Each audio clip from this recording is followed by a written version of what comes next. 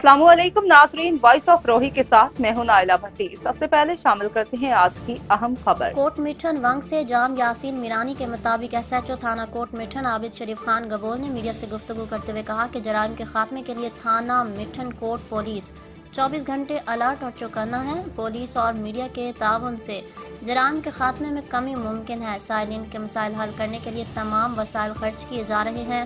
उन्होंने कहा कि रात के वक्त पुलिस गश्त को मौसर बना दिया गया और मनशियात फरोशों और जुए के अड्डों नाजायज असलहा इश्तहारी मुलजमान की गिरफ्तारी के लिए छापे मारे जा रहे हैं।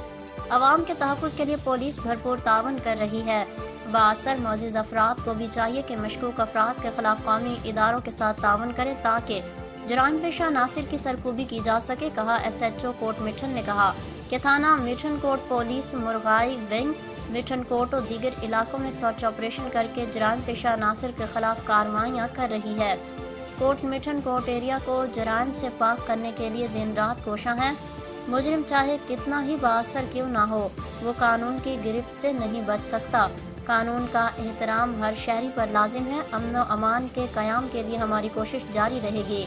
इस मौके पर A S I Saifullah Khan A S I Arshad Khan A S I Ishfaq Ahmed Khan A S I Zulfiqar Khan तफ्तीशी officer Riyaz Ahmad Khan नायब मुहर्र इशफाक अहमद खान नायब मुहर्र हबीबुल्ला खान मोहम्मद असगर मोहम्मद हुसैन गोपांग व दीगर मौजूद थे। अब तक के लिए इतना ही। मजीद खबरों और अपडेट से बाखबर रहने के लिए देखते रहें वॉइस ऑफ़ रोहिणी